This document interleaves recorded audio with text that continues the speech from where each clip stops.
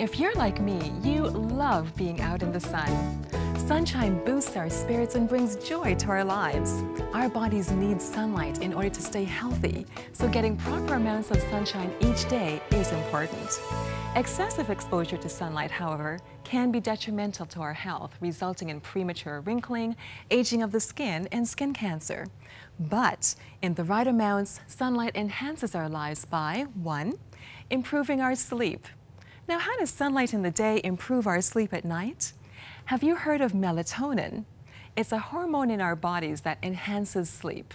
As we age, our bodies produce less and less melatonin.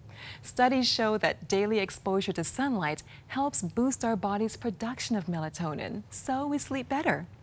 Two, improving our mood. Most people seem to function and feel so much better when the sun is shining. I know I do. It's well documented that seasonal variations in light levels can have profound effects on mental health.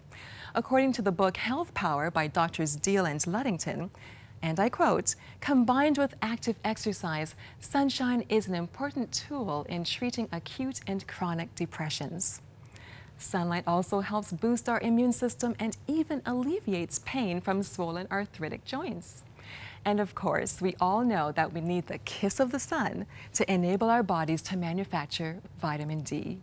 Our bodies need vitamin D in order to use calcium to build strong, healthy bones and for other functions in our bodies.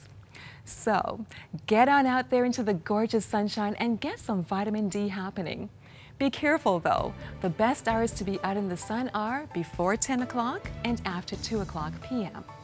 Jesus tells us in John 8, verse 12, that He is the light of the world. As the Sun of Righteousness, He brings light and healing to our souls. I love that. If you want additional information on healthy eating or living, just visit our website at www.iiw.ca, go to the Live Healthy page, and you'll find links to lots of great resources. See you next time.